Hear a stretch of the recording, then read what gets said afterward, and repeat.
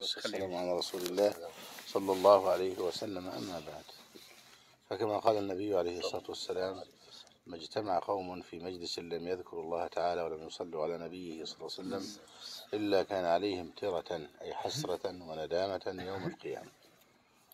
فلا بد الإنسان أن يعمر مجالسه بذكر الله سبحانه وتعالى. لا سيما منها الاستغفار.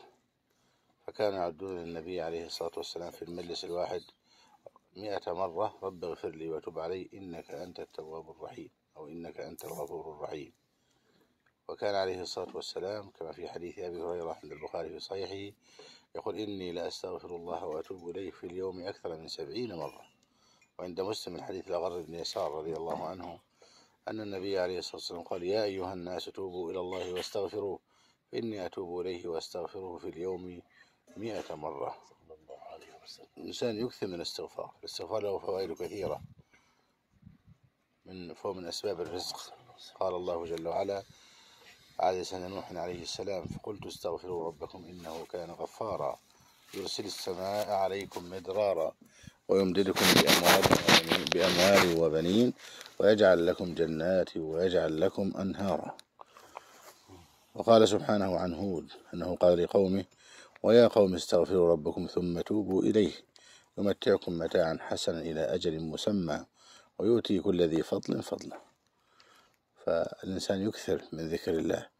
وإذا حصل لغط في المجلس يختمه بالذكر الوارد. سبحانك اللهم وبحمدك. أشهد أن لا إله إلا أنت أستغفرك وأتوب إليك. وكان بعض السلف يقرأ سورة العصر. لم يصح عن النبي عليه الصلاة والسلام مرفوعا لكن جاء عن بعض السلف أنهم يقرؤون سورة العصر لأن فيها التواصي بالصبر والتواصي بالعلم والتواصي بالدعوة والتواصي بالإيمان. قال سبحانه والعصر إن الإنسان لفي خسر. كل إنسان جنس الإنسان ألف واللام الاستغراق. كل جنس الإنسان خاسر. ثم استثنى الله من اتصف بأربع صفات. فقال سبحانه إلا الذين آمنوا وعملوا الصالحات إيمان وعمل. وتواصوا بالحق يعني دعوا إلى هذا الذي معهم. وتواصوا بالصبر لأنه من دعا إلى الله لابد أن يبتلى. كما قيل الإمام الشافعي أيمكن الرجل أن يبتلى؟ قال لا يمكن له حتى يبتلى. وتلا قوله تعالى أحسب الناس أن يتركوا أن يقولوا آمنا وهم لا يفتنون. ولقد فتنا الذين من قبلهم فلا يعلمن الله الذين صدقوا ولا يعلمن الكاذبين. وتواصوا بالصبر. فلا بد من الصبر. لا بد من الصبر على الحق الذي تحمله ولا بد أن تبتلى في سبيله حتى يعلم الله الذين صدقوا ويعلم الكاذبين. وهذا علم يعني يظهر, يظهر علمه في الناس.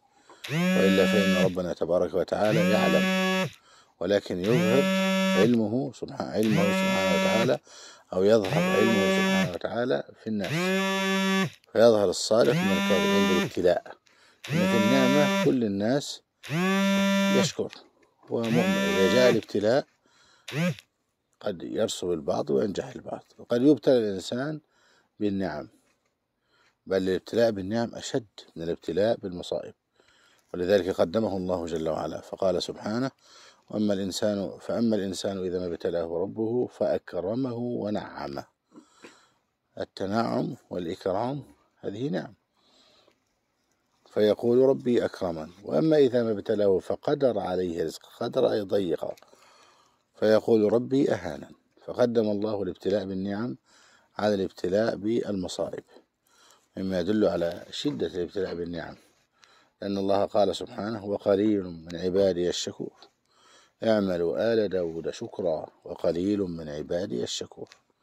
لأن الشكر هذا ليس كلمة تقال أو تقبيل اليد ظهرا وبطنا لا.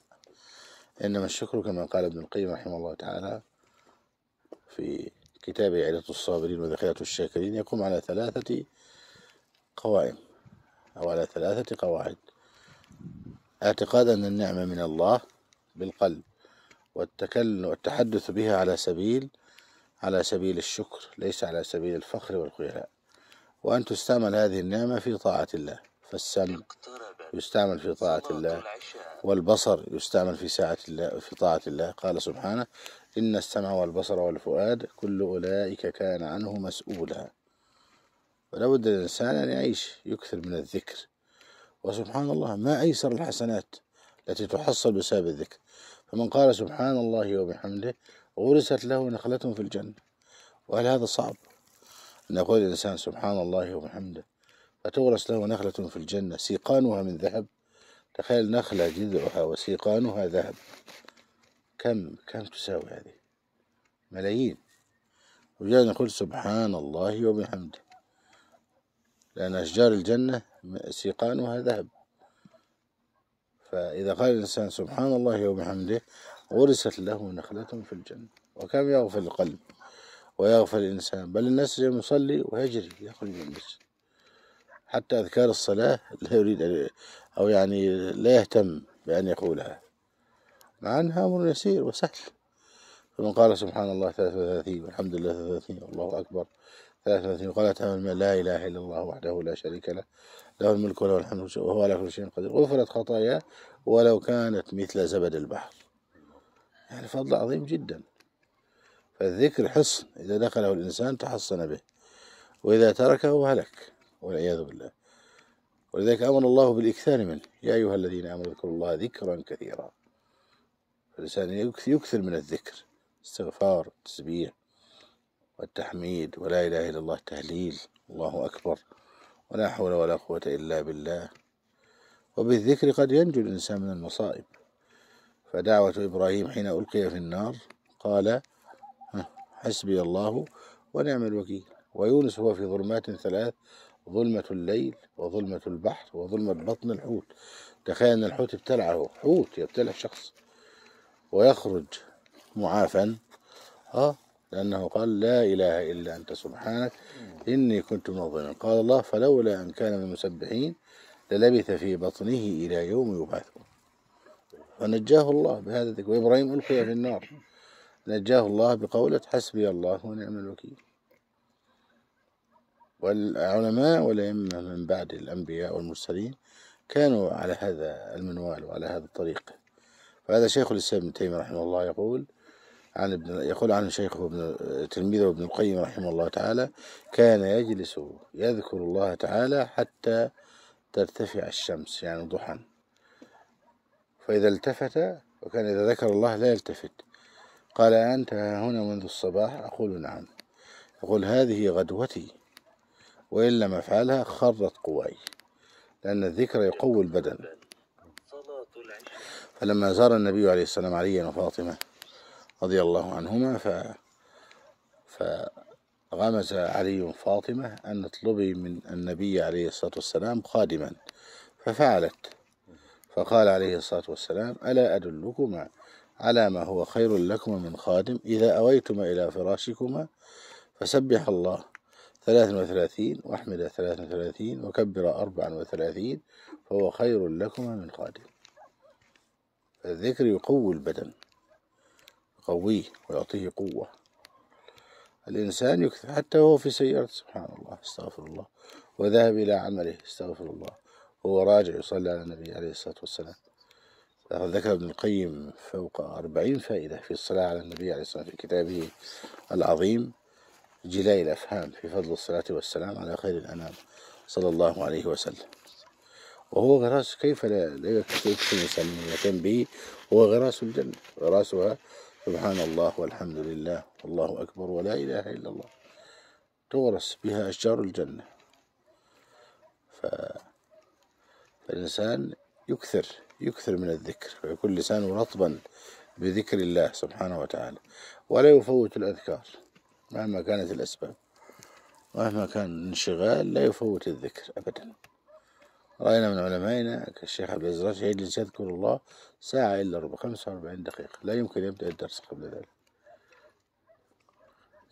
خمسة وأربعين دقيقة يذكر أذكار الصباح قبل الدرس دائما.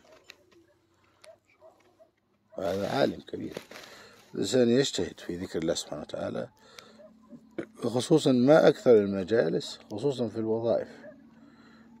تكون فيها غيبة ونميمة و...